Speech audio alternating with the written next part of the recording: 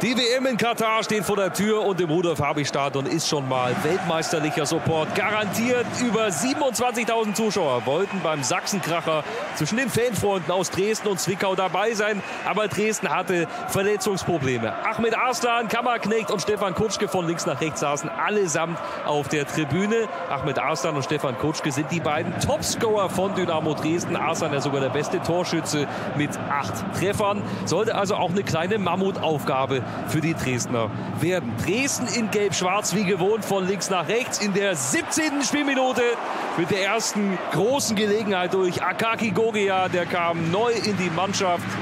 Genauso wie Niklas Hauptmann, der hier die Vorarbeit leistet.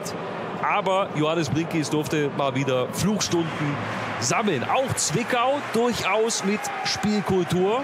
Dominik Baumann lässt sich fallen ins Mittelfeld auf Robert Herrmann in der 26. Minute. Dann taucht Ronny König plötzlich auf. Ja, den Routinier gibt es ja immer noch.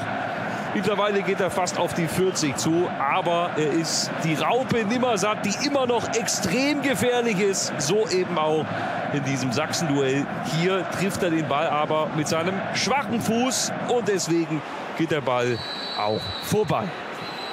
Rund zehn Minuten später, Robert Herrmann wieder mit so einer genialen Idee auf Dominik Baumann. Aber Sven Müller macht den Winkel ganz, ganz gefährlich und somit passiert dann auch nicht allzu viel. Ungewohnte Präzision im Zwickauer Spiel mit Sahnepässen. Das ist also das Fazit dieser ersten Hälfte.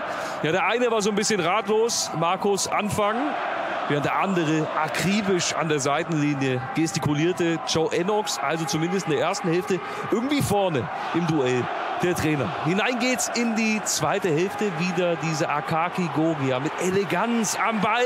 Aber das Spiel kennen wir doch schon aus der ersten Hälfte. Johannes Blinkis zur Stelle. Nicht allzu platziert dieser Versuch.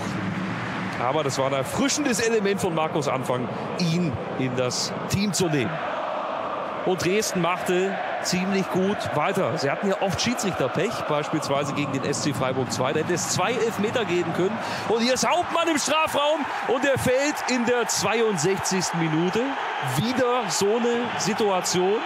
Er hält sich das Knie und wir schauen hin. Ziegele trifft zwar den Ball, trifft aber eben auch Niklas Hauptmann. Das hätte den Elfmeter geben müssen für Dynamo Dresden. Ja, das Pech ist wieder mal im Spiel. Und so konnte Zwickau in der Partie bleiben. 82. Minute. Max Jansen, der kann ja schießen.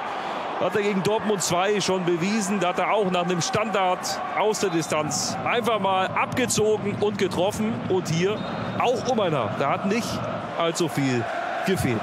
Und so gehen wir dann schon in die letzten Aktionen dieser Partie. Genauer gesagt in die allerletzte. Dynamo mit Max Kulke und Julius Kade. Aber auch der landet nicht im Kasten. Dynamo also nach wie vor mit großen Problemen im letzten Drittel, auch in der Favoritenrolle im Sachsen-Duell mit dem FSV Zwickau. Und so jubelte am Ende eigentlich nur einer, Johannes Brinkis, während sich bei den Trainern ganz unterschiedliche Stimmungslagen offenbarten. Man hatte ja eigentlich schon alles ausprobiert. Machen wir alles richtig? Können wir was verändern?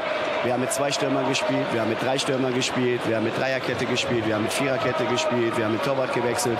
Also es ist jetzt nicht so, dass wir tatenlos waren. Ähm, aber als ich hier angetreten bin, habe ich ja einen Vertrag unterschrieben, der nicht nur für ein Jahr zählt. Und man wusste, dass man was aufbauen muss und es auch länger dauern kann. Ähm, ich bin unheimlich stolz, nicht nur auf die Leistung heute, sondern halt wir haben zwei ähm, ganz schwere Auswärtsspiele innerhalb von drei Tagen. Wir ähm, davor zu Hause gegen Osnabrück, wo wir als Spiel hin und her ist. Ähm, Hut ab vor der Mannschaft, dass die, was sie heute auf den Platz bringen könnten in so kurzer Zeit, drei Spiele in sechs Tagen, zwei Aus, äh, Auswärtsspiele dabei, das ist halt schon enorm. Ähm, ich bin sehr, sehr, sehr stolz. Auf den Rängen setzte sich dann dieser Trend fort. Die Zwickauer feierten mit ihren Fans und gingen irgendwie als Sieger vom Platz, während Markus Anfang den Zeigefinger erhob. Sechs Spiele ohne Sieg gab es bei Dynamo in der dritten Liga zuletzt vor acht Jahren. Sie haben einen Negativrekord eingestellt.